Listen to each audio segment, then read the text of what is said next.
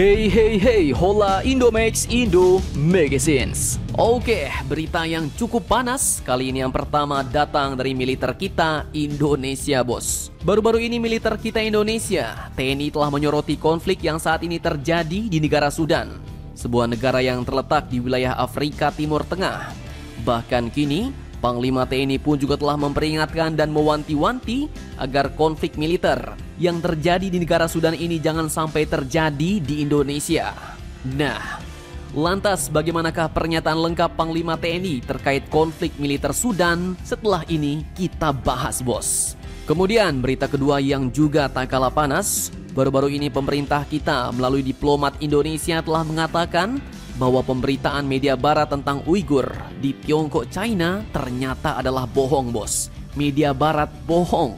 Hal ini pun dinyatakan langsung setelah diplomat kita Indonesia datang dan melihat langsung kehidupan masyarakat Uighur di kota Xinjiang, China. Bahkan tak cuma China sendiri, bos. Diplomat Indonesia ini pun juga datang bersama dengan 13 perwakilan negara-negara lainnya. Nah, lantas bagaimanakah kondisi masyarakat Uighur di Tiongkok ini sebenarnya? Dan kebohongan apakah yang dimaksud oleh diplomat kita Indonesia? Penasaran beritanya? Cus! Tanpa banyak bacor, mari kita bahas berita lengkapnya satu per satu bosku.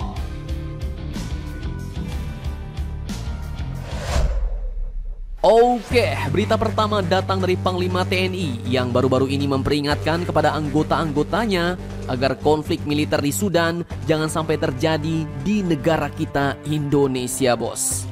Admin kutip dari banyak sumber berita berikut. Baru-baru ini Panglima TNI Laksamana Yudo Margono telah menyoroti konflik militer yang terjadi di negara Sudan. Dan beliau pun mengingatkan agar konflik militer yang terjadi di Sudan itu tidak terjadi di Indonesia. Menurutnya hal itu pun bisa berdampak terhadap ambruknya ekonomi, bahkan rawan akan menjadi negara yang gagal. Nah, cukup-cukup amsyong nih bos.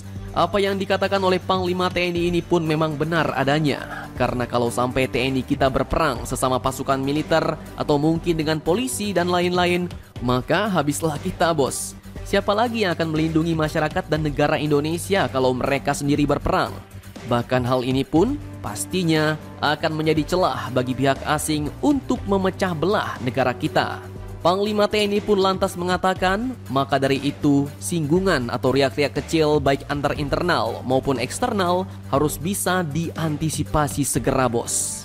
Beliau mengingatkan agar para pemimpin satuan TNI harus bertanggung jawab atas amanah yang diberikan dengan resiko apa pun, terlebih demi kepentingan nasional. Pemimpin, selain tampil dan bertanggung jawab dalam memimpin, perlu diikuti dengan nalar dan hati nurani untuk kepentingan nasional, ujar beliau. Nah, saat ini memang diketahui bos, konflik militer antara Sudan Armed Force atau SAF melawan pasukan paramiliternya yaitu RSF sudah memakan banyak korban jiwa, yaitu mencapai 459 korban jiwa yang amsyong pindah ke alam jin dan jun. Nah, jangan sampai konflik seperti ini terjadi di Indonesia ya bos. Amin.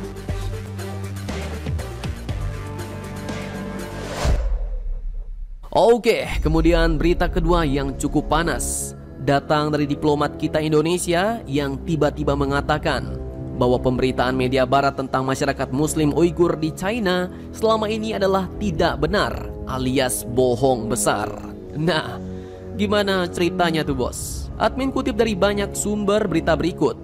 Sejumlah diplomat dari 14 negara termasuklah diplomat kita Indonesia Baru-baru ini pada tanggal 24 sampai 28 April 2023 kemarin telah melakukan kunjungan ke daerah otonomi Xinjiang China atas undangan Kementerian Luar Negeri China. Dan perlu kalian ketahui bos, bahwa wilayah provinsi Xinjiang ini pun merupakan wilayah di sebelah barat laut China yang menjadi salah satu rumah terbesar bagi masyarakat muslim Tiongkok.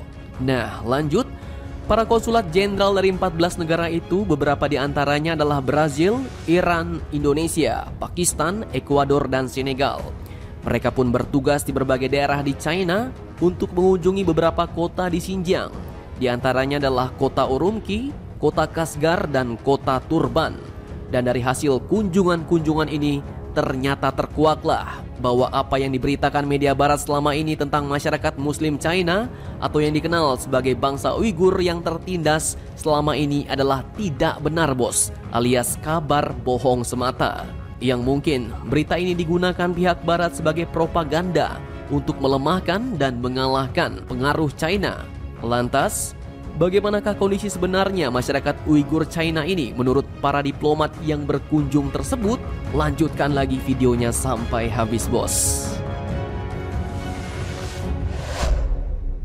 Oke, masih dari sumber-sumber yang sama. Setelah mengunjungi dan melihat langsung dengan mata kepala sendiri kondisi masyarakat Uighur di wilayah Xinjiang, Konsulat Jenderal RI di Guangzhou yaitu Bapak Ben Perkasa Derajat pun langsung mengatakan bahwa umat Islam di Xinjiang ternyata bebas melakukan ibadah di masjid-masjid bos. Ia pun lantas mengatakan jika berita dari media barat bahwa pemerintah China tidak mengizinkan umat Islam melakukan kegiatan keagamaan adalah tidak benar bos.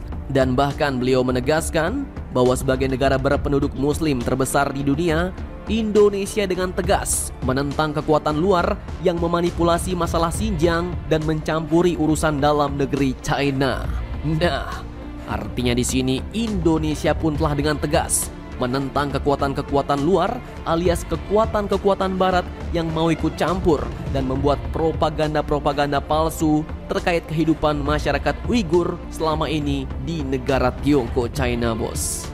Pasalnya seperti yang kalian ketahui, negara-negara barat selama ini pun telah menuduh Beijing melakukan serangkaian pelanggaran hak asasi manusia alias pelanggaran HAM terhadap etnis minoritas muslim Uighur di wilayah Xinjiang. Mulai dari penahanan warga setempat di kem konsentrasi, genosida, hingga kerja paksa. Dan ternyata hal itu pun selama ini adalah berita bohong semata. Dan mungkin ini sama dengan apa yang seperti diberitakan oleh pihak barat mengenai tanah Papua kita bos.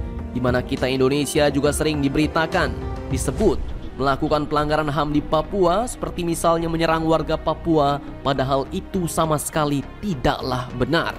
Nah, artinya selama ini kita semua telah dibutakan oleh propaganda-propaganda barat. Jadi bagaimana menurut kalian? Jangan lupa komentar, tetaplah kalian barbar dan jangan santuy terus. Demi Indonesia maju, salam Indomax, Indo.